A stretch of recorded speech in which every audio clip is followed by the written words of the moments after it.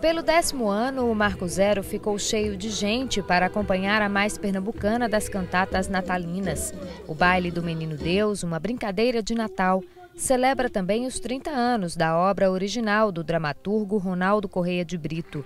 Na plateia, o prefeito do Recife, Geraldo Júlio, o governador de Pernambuco, Eduardo Campos, e um público atento, emocionado e agradecido pela mensagem do espetáculo. É uma forma de, de rever o Natal a partir da nossa, dos nossos elementos culturais, artísticos, com as nossas cores, com a nossa forma de brincar.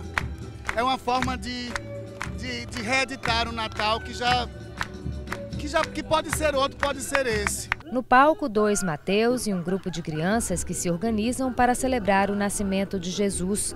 Espetáculo com muita dança e música que atrai 60 mil pessoas a cada edição e que vem para emocionar ainda mais, marcando os 10 anos de apresentação na Praça do Marco Zero. É uma releitura do Natal brasileira, é, nordestina e pernambucana.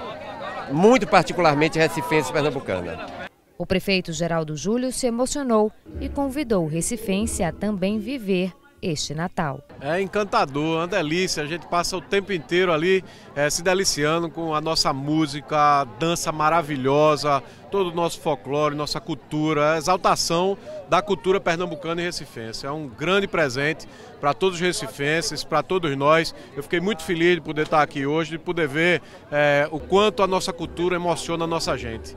Todo recifense deve vir, vir assistir, aqui é tudo aberto, é gratuito, é maravilhoso. Vale a pena vir, trazer sua família, vai se emocionar com certeza nesse momento bonito que é o momento de final de ano, de Natal. Vale a pena vir sim.